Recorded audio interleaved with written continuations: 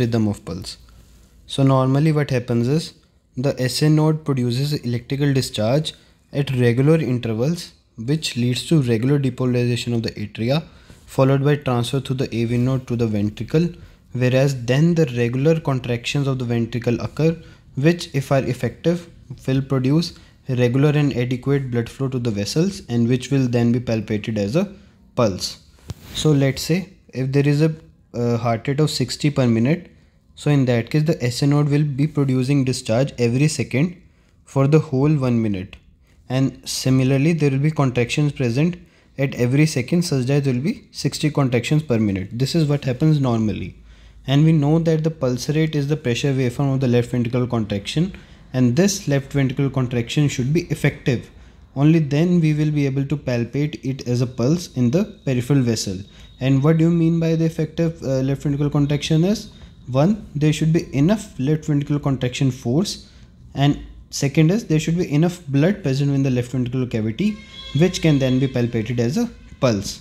But sometimes what can happen is there might be a missed beat present. Like let's say the discharge was present at 1 second but uh, the pulse is also present at 1 second but at the second second there is no pulse palpable. Then again the pulse is palpable and again 2 3 beats could not be palpable.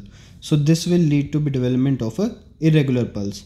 And how this missed beat can occur is either if there is a failure of left ventricular depolarization such that the force could not be generated to produce contraction or if there is very low blood present in the left ventricle again there will be not enough blood going to the peripheries so the pulse would not be able to be palpated. So if there are missed beats present it will lead to a irregular pulse.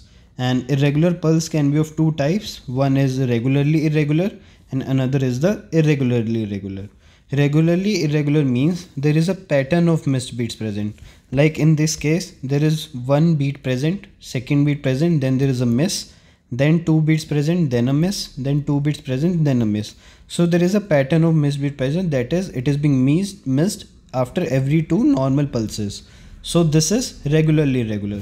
Whereas in irregular there is no such pattern present.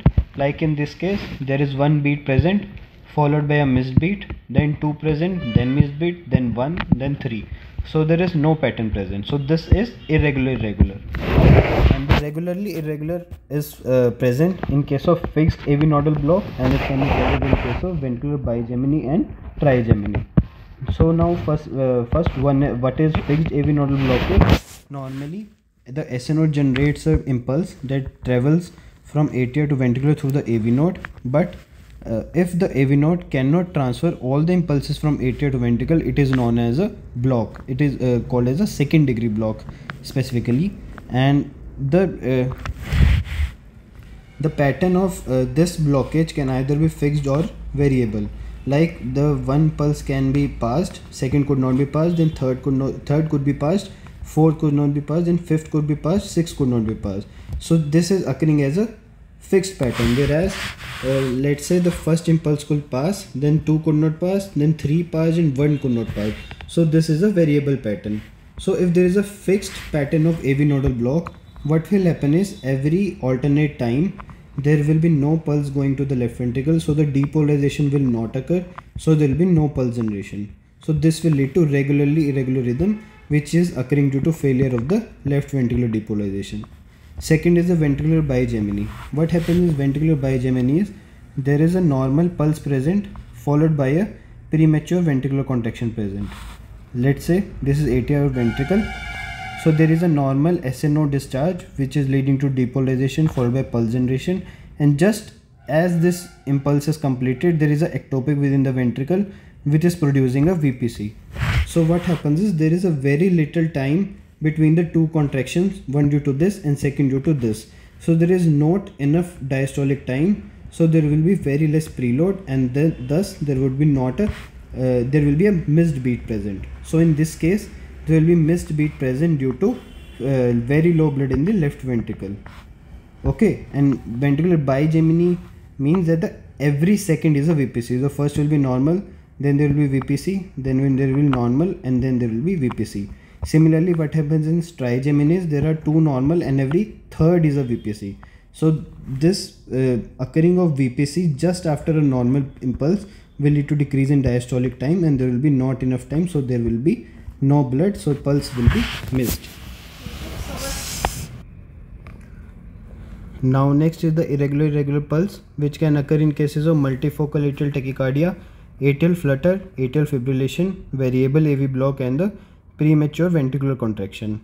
No, now uh, what is multifocal multifocal atrial tachycardia is there is three or more than three focus present within the atria that is producing the impulse so as there are multiple impulses being produced at one time there will be not enough diastolic time present for the blood to fill and again there will be a missed beat whereas in atrial flutter and atrial fibrillation there is a missed beat present to, due to both the causes as uh, there is an important concept that the AV node can pass at max T 220 impulses per minute. If the impulses passing through the AV node more than 220 per minute, there will be some miss, missed beats present. There will be some impulses will, will no, which will not be able to get transferred and this will lead to missed beat.